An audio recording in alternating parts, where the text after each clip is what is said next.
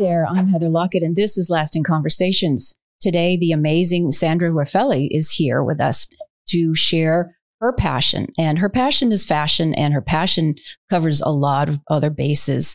Um, good morning. Hello. Good morning, Heather. How are you? Thank you for having me here. Thanks so much for being here. Um, your main focus right now is with Azul Fashion Art and Design. It is a nonprofit here in West Palm Beach, Florida. And tell us a little bit about that. And I want to know about your journey from Colombia and what has sparked your joy into your passion. Right. Uh, so, Azul Fashion Art and Design is a nonprofit, as you mentioned, that um, supports adults with unique abilities and their families to connect with their purpose.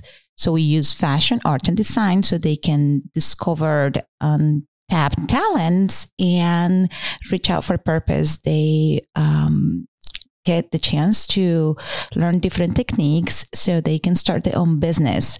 So we're bringing fashion and disabilities together in our nonprofit. That's wonderful. And I've right. been with your group and have helped here and there. And what one of the things, and, and I'm wearing a piece today, is to repurpose and create art onto other pieces of clothing whether they're pants and jackets, t-shirts, tops, and you've had runway shows. Um, and it's very, very exciting. And the fashion is beautiful. So what might have been a donated item or thrift store literally has been recreated into works of art. And I want to hear more about that. Your, um, again, the purpose and passion that your students, your young adults and older adults that bring to the table because clearly they have so much joy. And when I've been to their shows and your and your runways, they're so happy. They're so happy to be showing off their good works. Right. Their self esteem is all high up, uh-huh. right? Yeah. Yeah. Yeah. So, um, I call it, we call it sustainable fashion. Okay. And uh, it all started, I was living in Chicago and I'm a big fan of thrift stores. And I found myself um, getting a lot of clothes at the thrift store and um, redesigning them at home. So I started doing this by myself. And uh, you mentioned, you asked before about Colombia, so how this happened. Mm-hmm. And um, so, yeah, I, I, moved to Colombia to start this nonprofit, but I didn't know that I was going to be in fashion. I knew it was going to be for this, uh, to support these adults with disabilities, or we call them with unique abilities. We like it like that better. Yes. And, um, so yeah, I, I, I gathered a group of women and I told them, I think sustainable fashion can be a great tool for this community. And um, they believed that. And we put together this program where they can redesign clothing that people don't want anymore. So let's say a beautiful dress that you wore once for this fancy lunch and it got a spot, it got a stain, and you don't want to wear it anymore because uh, is being ruined for you, right? But for whatever is ruined for you, it can be a treasure for us. Mm-hmm. So they'll learn how to bring the magic of serendipity and create a beautiful design out of that little stain. So they're, um, you know, being sustainable. We are recovering a piece. We're preventing a piece of textile to go on the landfill. And um, so that is not only important for the community and the society as a whole, but it's also super important for the person who is designing it. Uh, our techniques and our methodologies are very friendly and inclusive to all different abilities, all level, uh, all levels of functionality. Mm-hmm. So everybody can accomplish a beautiful project at the end of our classes. So yes, you mentioned they're happy, they're, um, their self-esteem is high. And the biggest piece of this is the accomplishment. They're so proud. Right. They're so proud. Let me show you. And it, when I've made a purchase, they're just tickled pink because you get into the business aspect. Right. It's very, um, it's really, really extraordinary what it is that you do. Um, and it is within the building called Extraordinary Charities, in which you are in right. that umbrella. So there is that sense of accomplishment, joy, pride, and fun. There's, they're just so fun. The pieces themselves are fun. Right, right. Yes. And, and I don't know if you have experience, but sometimes they even tell you how, how they, yes. they, they, give out their secrets, right? but because they have learned something and it was easy for them to get that knowledge, mm-hmm. to feel, to experience that knowledge through their hands. So this is actually giving this community an opportunity to feel purposeful, right? To connect with their purpose in life and to move towards that success that we all should be able to walk, right? To walk the line of, su- of success. Mm-hmm. So when you have, uh, and then you work with the family, it's more than just here's a, an adult or young adult.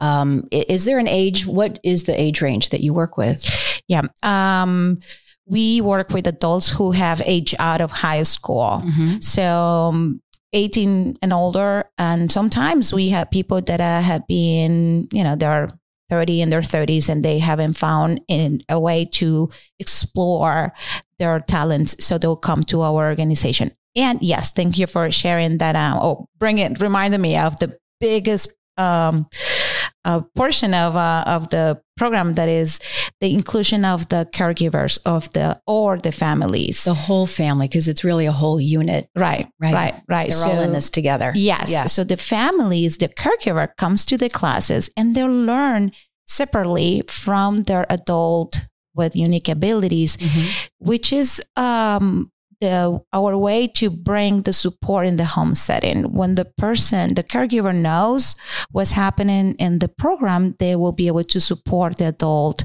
in the home setting to continue with their projects or with their business, right?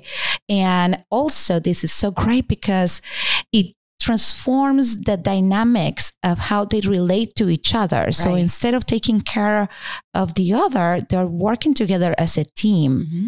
So they start to relate from a more dignified uh, point of view, right? They're just connecting, they're working together, they're creating together, and they're succeeding together. That's really so beautiful because the creation process, and I've talked with other people on the shows before, um, that we we as grown-ups have forgotten how to play, how to be creative. Well, he can't do that, or I'm not an artist, and na na na na na.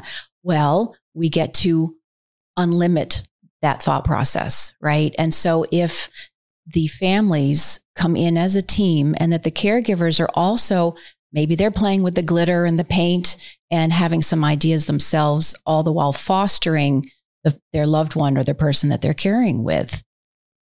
Right, right. Um, transforming the limiting beliefs mm-hmm. on the families mm-hmm. has been a beautiful process for us because it's most the families are afraid of seeing their adult with disabilities fail. They don't want to see them like um, having some issues or challenges.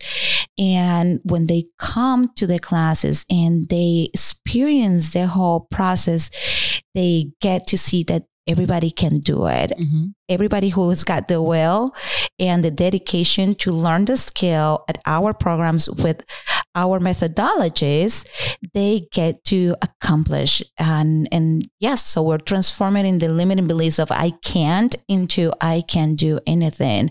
And then that goes along with our, um, with one of our slogans that are like different abilities endless opportunities, right? They endless, right? Endless, and that's the fun part, really and right. and that's where the joy can come in Right, right, right. Yes. And that's what they feel accomplished. That's what they're showing off. That's what mm-hmm. they're telling you, like, I made this. Where they see you on the street with something that you're wearing that they made. It's like, mm-hmm. I made that. Mm-hmm. So they're big, they're just bring the joy, their accomplishment, success. And everybody should have the um access to fashion you know i don't think that many of some people in our community don't even consider fashion as a way to express themselves mm-hmm. so they are just have been given some uh, sweatpants and a t-shirt but uh, these people also they they will love to look good mm-hmm. and to be proud of what they're wearing so uh, we're making uh, fashion more inclusive as well well i think we have um, a preconceived notion that fashion has to be fancy, expensive um, for only certain people, where it's every day. What we wear is our fashion. And actually, I haven't done my homework. I don't know the etymology of fashion, as a matter of fact, but I'm sure it for the purpose of this conversation, it has to do with how we feel and what is our mark, what is our color or not, um, and what how are we walking in this earth right? How are we walking in this world? And as you were speaking earlier i've just am seeing footage of the designers your unique abilities folks that have sashayed and strutted down this runway or they're wearing what they're wearing and it is they might as well be in paris and owning this whole city. That's the whole point is how you feel in what you're wearing. Even if, if it is a $10 t-shirt add a pin add some paint do something to it and own it and wear it. And this is what you guys do and you're helping them take that ownership and that creativity Right. And that uh, leads up to high self esteem, right? Like, high self esteem. Right, right. When you're walking out of home, out of your house and then you're looking great. And then on top of that, you know that you made that piece and you have a, a conversation behind your clothes. Mm-hmm. That's pretty cool because then you can be included and you have something to tell so you can connect with the community, right? Before maybe the person didn't have a purpose. Maybe the person didn't feel that they have something that it was worth sharing with the community, but now they can step in a room full of people and go around and say, "Hello, how are you? I made this. I'm a designer."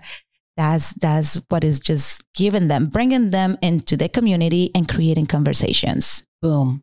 And I think there's been such a marginal marginalization of people of different abilities.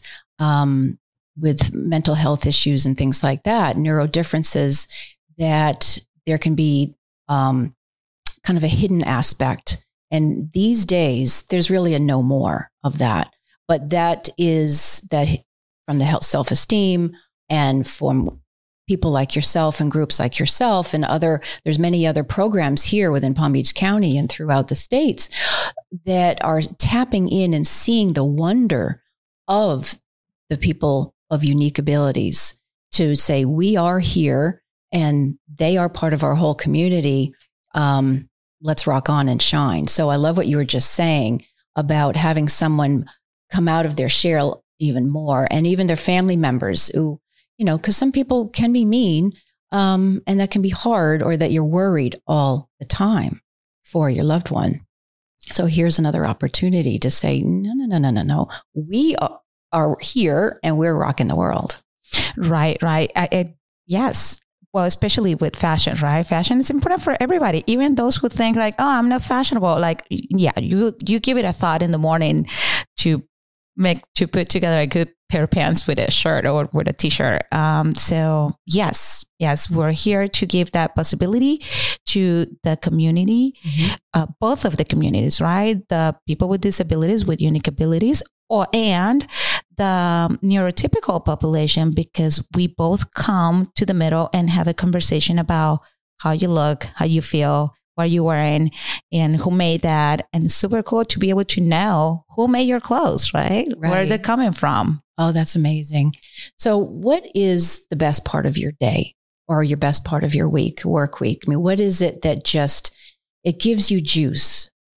Um, so I some well I, I facilitate the programs mm-hmm. and but i believe that i facilitate creativity and i open up um, this um, box full of surprises. So it's, it's Ooh, I, I, love that. a box full of surprises. I love it. I yeah. love it because I, I usually give them a technique and I teach them how to use the technique. And then I tell them, now you know the technique, you can apply it in your own ways. Mm-hmm. And they get freedom on that part of the process and to see all what they can do it, and the cool designs that they come up with is is what it gives me joy. And on top of that, they stand out and they start telling everybody, look what I made. Mm-hmm. So um, just seeing others um, feeling accomplished and feeling the light that they are, right? Just feeling the light, just getting in touch with that light that they are. Um, I just, I just can't stop smiling. It just makes my heart span. And it's so true because they are the light. There is, there really is no limitation that's why they're here on this planet, really, to help share their light, to say, you know, we may look or sound different, but we're just different and come on board, right? And help me out. Right. They're giving us an opportunity as human beings. I'm helping you. We're here to help the world. Exactly. And let's go. Let's shine on. Right. Yeah. Right. Yeah. Yeah. Yep. You have a really adorable uh, van. It's all cute and colorful. And do you go from location to location or what else is it that you do? And you, you've added some music. You're, you have mute movement. It's more than just the fashion. Yes. Uh, well, the van has helped us to bring our programs to different organizations. We partner with other organizations that serve adults with disabilities in Palm Beach County mm-hmm. and, and also help us to make the runways accessible to all as we can use this van to get all that we need back and forth. And um, we got this program, yes, Azul Moves. So we have fashion, art, and design, right? Well, art, there's so many things that art can include movement, dance, um, sculpture, uh, painting, all type of things, and um, mediums, all type of mediums. And um, so Azul Moves is one of the programs that we offer. So adults with unique abilities first explore their bodies through contemporary dance and then they get to explore the music. So they they get to explore latin music through the uh, movement of their bodies. So they awaken the body their bodies into movement and um, that supports their self-esteem too. We have done some performances. Um, they get also all dressed up. They're the stars and they trust and believe in, in what they're doing. They connect with the music and they feel the stars. So again, it's, it's bringing one more, it's a different way to bring out the light on them through music and movement. And also movement is limitless, right? Mm-hmm. You can move around, you can express yourself and enjoy the music. So what a better that there's not another better way to be able to succeed by being respected by something that you can do right? And having joy with it. And having again there's that word fun and joy. Yeah. so the community um, you are engaged with other groups. There's arc and there's other groups that you're engaged with as well. Um, but also how, how can we help or what are some of the community engagements to come? Uh, can we come and take classes too? Can we be part of a runway? Or what is it that you like the rest of us to come and help with or be part of? Yeah one um, something that we have been pushing a lot in the community is that uh, our classes are fully inclusive. Mm-hmm. So sometimes people see the word disabilities and they exclude they exclude themselves from that activity because as for somebody with disabilities, our programs are fully inclusive. So everybody is welcome to sit on the table with us and learn along with and everybody all type of people in our uh, we have in our programs so um, everybody's welcome to join in our classes. We also um, have runways, um, fashion festivals, and volunteers have been the key for these events to be successful. Mm-hmm. We wouldn't be able to make this event so wonderful without our volunteers. So anybody who is interested in having some fun, experiencing some colors, and getting some smiles and big hugs. and big hugs. Right? Really because we get hugs. a lot of big hugs around yeah. this community. Yeah. Um, they're all welcome to join us. And we also have other ways to engagement. Um, maybe you want to host a party, a fashionable party, and you bring all your friends, and then we'll bring a designer, and then you get to purchase exclusive items. Everybody likes exclusivity uh, these days, like something that um you know your unique piece. Mm-hmm. So you can host a party where your friends can get some unique pieces that nobody else is going to have, and you can raise awareness about what we do. I love that idea. In a pop up shop where maybe a few designers could come in and people are enjoying all right. the different designers. Uh, that would be a lot of fun and have it as part of a dance and right? That's that's really really cool. Now, how do you see 23? Um, there was a word that you were using uh, that was tapping into something more, right? I know we're all getting expanded into our more. What is it for you? Yeah, um, the word that um, it has been getting to me, the phrase that is getting to me this year is transforming limiting beliefs. Mm. So um, there is a conception, right, about this community, and is that uh, can they really do that, right? Or some people believe they can, they're really good with the craft, and they can do more than a craft. Mm-hmm they can do really high quality designs. And so we are transform- transforming the limiting beliefs that the community has about our adults with disabilities, as well as the limiting beliefs they might have about themselves. Like, oh, fashion? I don't know if I can do fashion. Fashion is just for fancy people, like you said before, or rich people, but they can. So we are allowing them to um, to tap into unlimited beliefs, right? So that's what we're moving towards this year. And we are really excited about having uh, more people in the community wearing their designs, having more people talking about their abilities, what they can do, and that fashion and people with disabilities can go together. Mm-hmm. Um, I know there are some brands out there that are designing clothes for people with disabilities, right? Trying to make it inclusive, which is great. And now we are adding a little bit more to that story. Now we're having people with unique abilities designing your clothes, and you will probably have um, will stop people. People probably will stop you on the street saying, like, where did you get that? And then you can tell a beautiful, empowering story. And you're making somebody else's dreams come true by promoting them, by bringing recognition to their talents. And maybe that person would like to call them and buy more from them. And then we're growing their business. So it's all about transformation from the limiting beliefs into the unlimited beliefs. I love all of that. The, the proverbial, who are you wearing? Well, there we go. Someone from your community is a fashion designer and an artist and a business person. That's also very, very important with right. the um, unlimiting beliefs in terms of no, these folks you help with training with even a business plan and business cards and share some more about that. There is an accountant and accountability aspect as well. Yes, yes. Uh, so let's say this program uh, is a five month program, and at the end of the program, they com- to complete it, they need to put together a um, collection of 12 pieces that is going to be sold at one of our fashion festivals. And we cre- we help them to create their own um, fashion book like their their trends book.